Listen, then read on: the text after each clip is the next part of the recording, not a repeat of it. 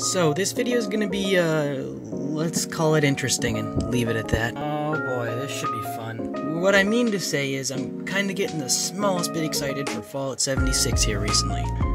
Oh god, pack up your kids, we're running before it's too late. No, no, no, no, no, no, no, no, no, no, no, hear me out, hear me out. Before you unsubscribe, hear me out. Listen, listen, please listen do fully understand the storm that Bethesda has become over the past few years, but I'm a firm believer in the fallacy that the farther one sinks, the higher one can climb. The only problem here is Bethesda isn't just waltzing up a hill. They're practically heel-hooking Mount Everest. So why am I so optimistic that Bethesda can peel off their scabs and start anew? And why the hell am I being so metaphorical? One word, my friends. One word. Wastelanders.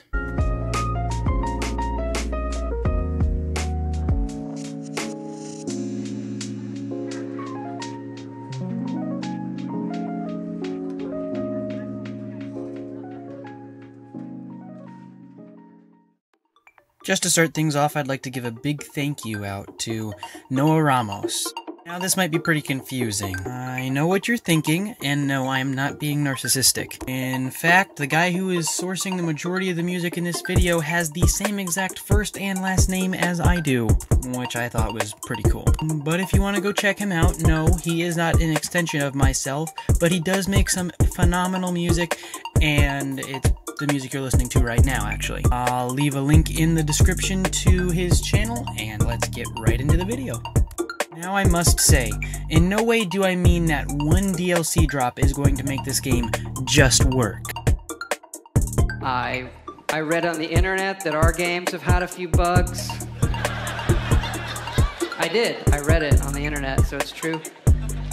And that uh, sometimes it doesn't just work game almost never just works. Uh, there are many bugs still present as I speak, many of which have been present since beta. Cheaters have been running rampant as of late, and I can't fucking stand the Atomic Shop. But the game is constantly, constantly getting better, and it's leagues ahead of what it used to be. Um, I mean, at launch. And to me, at least, this up and coming DLC, which was delayed by the way, will either save the game for many or be the final nail in the coffin. No, screw coffins. If this DLC doesn't fix anything, it won't get a coffin. This game will get an urn, because it won't have any family to bury it. The game will be cremated because that's the cheapest option. No, it'll be taxidermied and used as a coat rack at a fucking Carl's Jr. or something. Then the Carl's Jr. will be shut down for having a taxidermied human as a fucking coat rack, and it'll be sold to some guy with a mannequin fetish have to sit there being assaulted until the guy's house burns down because he fell asleep cooking Pop Tarts or something. Mm, yeah, as you can see, this game can be frustrating. It's really gotten on the nerves of a lot of people, myself included. Myself? Am I like multiple people? What? Anyway, sooner or later things should get better.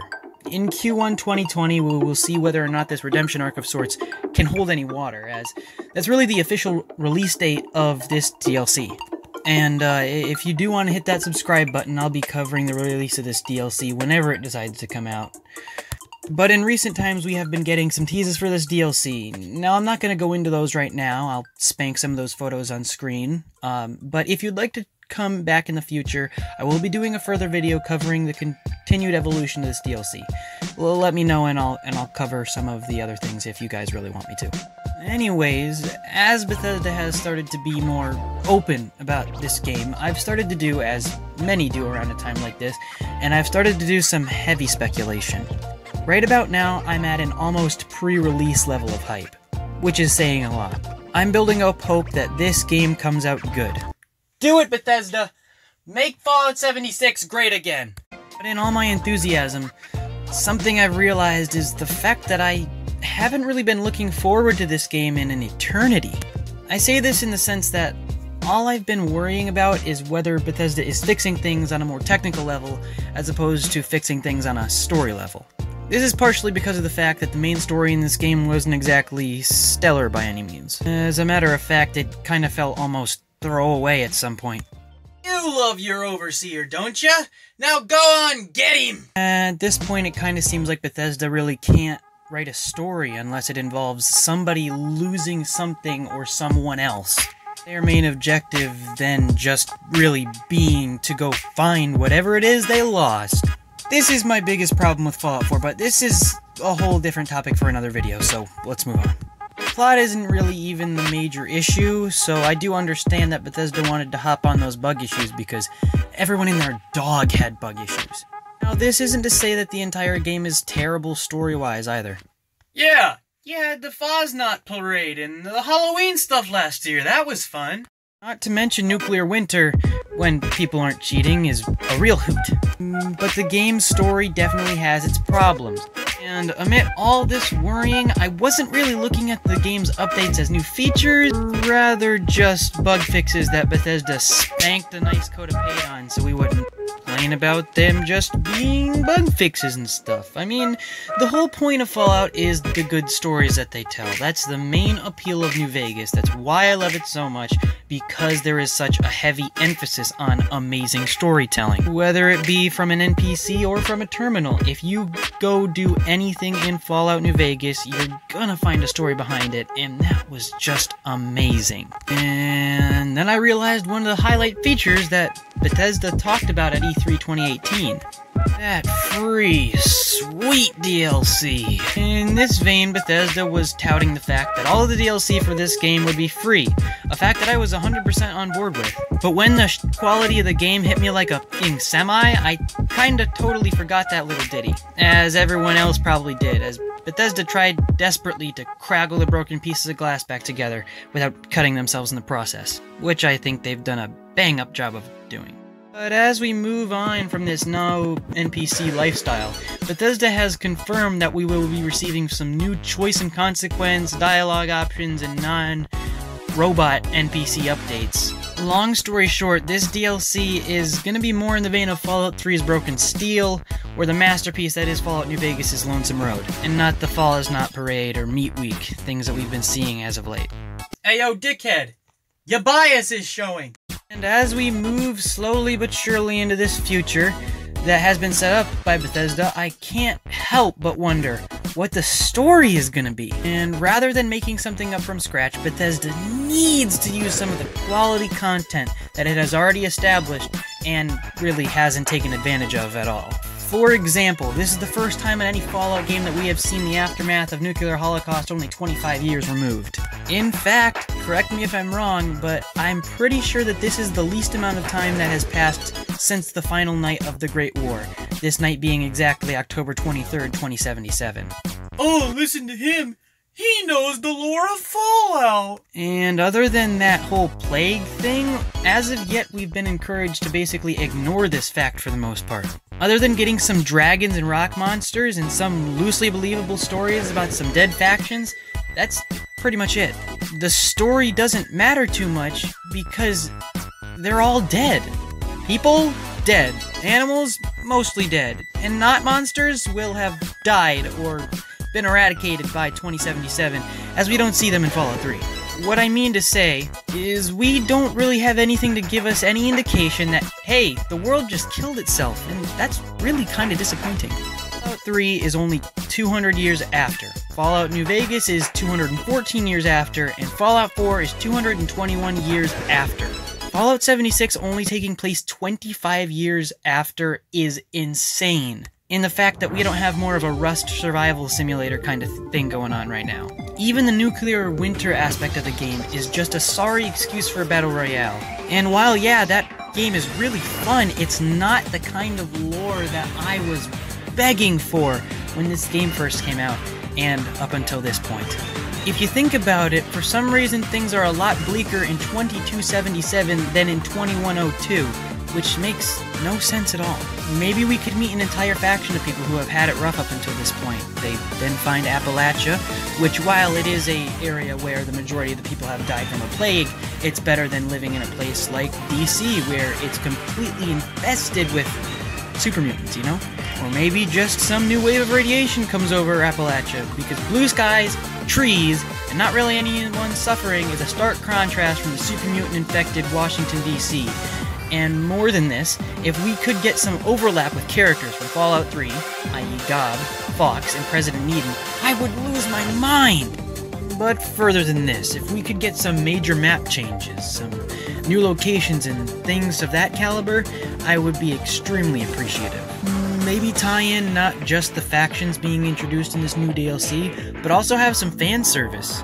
Bethesda needs to be a lot more forward, in my opinion, when it comes to just chucking that fan service right in our faces. In my opinion, if you played Fallout 3, Fallout 4, or maybe even Fallout New Vegas, you are deserving of some kind of reward, you know? These games are made in a certain way where you do not have to go back and play the older ones if you want to understand what's going on story wise. And that's a good thing, but if we could have something like they do in Marvel, where they're chucking these references from comics and older movies and cartoons and things like that in your face throughout all of their films, would quite frankly lose my head. Also, in a similar vein to this, if we could convince the hardcore Fallout community, because if we're being absolutely transparent, that's pretty much the only people playing the game at this point, that Fallout 76 is a,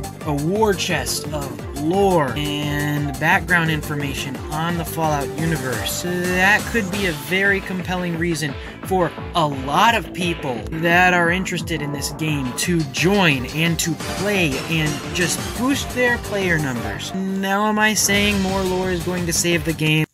But it'll add a pro to the rapidly decreasing list of pros. To be honest, though, at the end of the day, all I want is a fight between the Brotherhood and the Enclave, or something of that caliber. Maybe we could get some Enclave NPCs in here, because Bethesda did retcon reasons for the Brotherhood to be here already, and the Enclave is it, it's here. And as for Nuclear Winter, if we could get some Enclave troops trying to kill everyone, or maybe helping you depending on which side you identify with, that would be something that I would enjoy. Not gonna say including Enclave and all that isn't gonna anger some people, but I can see them retconning them in just because they're a very established uh, organization, and that's something that they need in this game right now. Less new things and things that people already understand and have understood since 2008. Hey, you crazy person, you've sung the praises long enough. Now tell him how shit Bethesda is! Yeah, he's got a good point. There is an immense layer of ill will between people in this community and Bethesda themselves. This isn't a Hello Game scenario where Bethesda has only made two games, gone through bankruptcy and flooding, had to sell their house, etc. Bethesda is a large, multi billion dollar corporation. Correct me on that number if I'm wrong, by the way. They had the money in the bank to make this game good. They didn't. Just one old fashioned, good quality DLC drop isn't gonna change or fix that fact for anyone. At the end of the day, whether Bethesda can pull a No or not hinges on whether they can be faithful from here on out or not rather than give us what we want every so often. Myself and many others, Fallout 76 is an unhealthy relationship. We have to comb through all the bad, find the good, and only present that to ourselves. We stick with this game. We tell people who badmouth it that they should actually try it. We stick our neck out for Bethesda. And if they slap us in the face for it, I don't know if I'm going to be able to continue with Bethesda. Because with slaps in the face like Fallout First and the $7 fridges, it can be hard sometimes to love this game. But that's the hardest part. Already finished The Outer Worlds, and whether or not I like it, I will always come crawling back to Bethesda Softworks for my Fallout fix. I'm just so nervous that Wastelanders is gonna hook me and hang me out to dry. Mm, but what do you guys think? With all the information that I've presented to you, what do you guys think is going to happen? Do you expect Bethesda to pull this off? Do you expect Wastelanders to be horrendous? Tell me what you think in the comments below. I always read them because I'm the smallest channel on the planet, and I will see you guys later. By the way, I just wanted to get this out there. Thank everybody who's watching this video. You guys have no idea how much it means to me. January is a slow time. I'm taking college classes. I've got high school all day, five days a week, so it can be kind of stressful And like I like I've said before, this is for fun.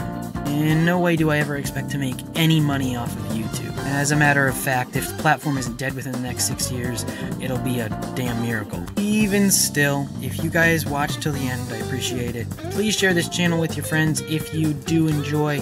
And yeah.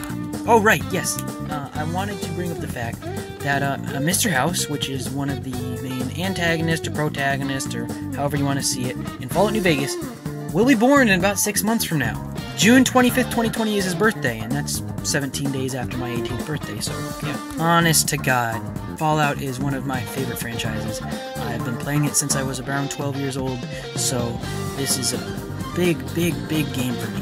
If you guys want me to stick to films or maybe go to anime or something, let me know in the comments. I'll completely oblige. I, I, I just want you guys to be happy, um, but I also want to be happy myself.